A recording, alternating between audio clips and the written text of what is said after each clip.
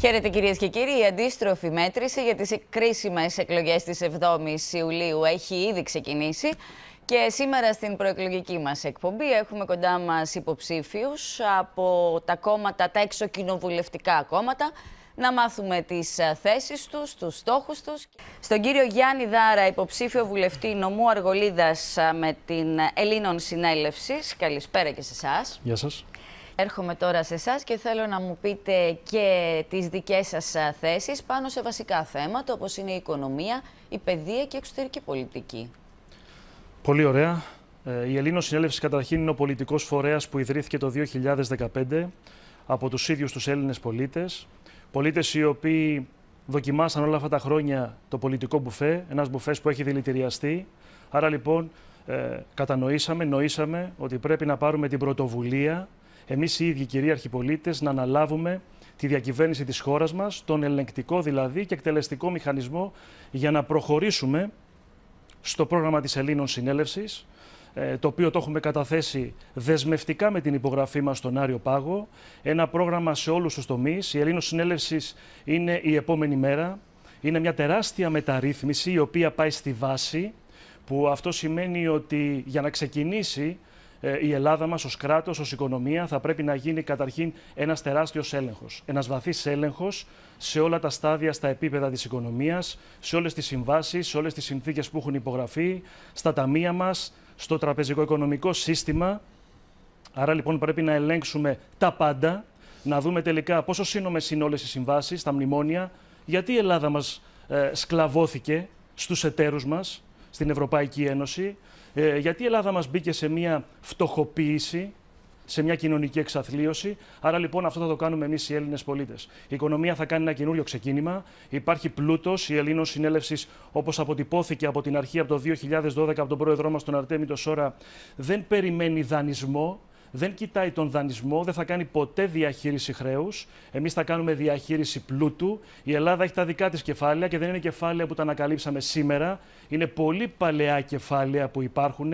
Από το 45 και μέχρι σήμερα η Ελλάδα μας, ας μην ξεχνάμε ότι συμμετέχει σε πάνω από 10 διεθνείς συνθήκες στις οποίες ε, έχει δώσει πλούτο με ένα διεθνές νομισματικό ταμείο το οποίο είμαστε ιδρυτές, με μια παγκόσμια τράπεζα που είμαστε ιδρυτές. Άρα λοιπόν, εύλογο το ερώτημα, για ποιο λόγο μας κυνηγάνε τα δικά μας ταμεία, τα οποία εμείς οι Έλληνες μαζί με κάποια άλλα κράτη ιδρύσαμε.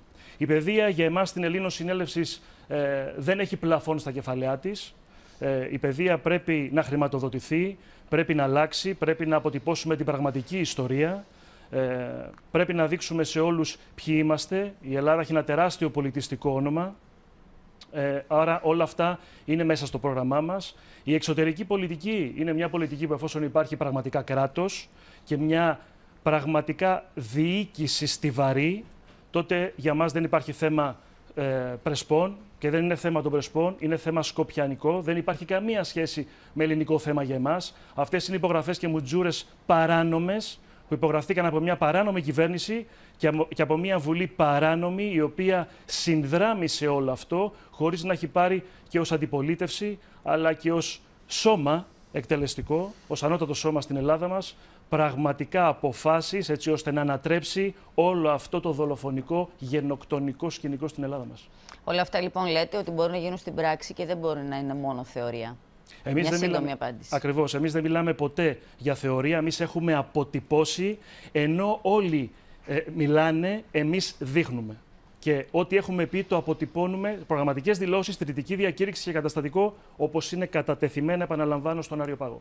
Μάλιστα. Έρχομαι λοιπόν κι εσείς, ε, κατεβαίνετε στην Αργολίδα. Ποια είναι τα ζητήματα που σας λένε οι ψηφοφόροι σας, που πηγαίνετε και τους συναντάτε πόρτα-πόρτα αυτές τις ε, ημέρες; Επιτροχάδη, θα σας πω τα ζητήματα, το πολύ απλό και κέριο ζήτημα όλης της Ελλάδας σε αυτές τις περιοχές, το νερό, ίδρυυση, το πόσιμο νερό. Επίσης τα απορρίμματα.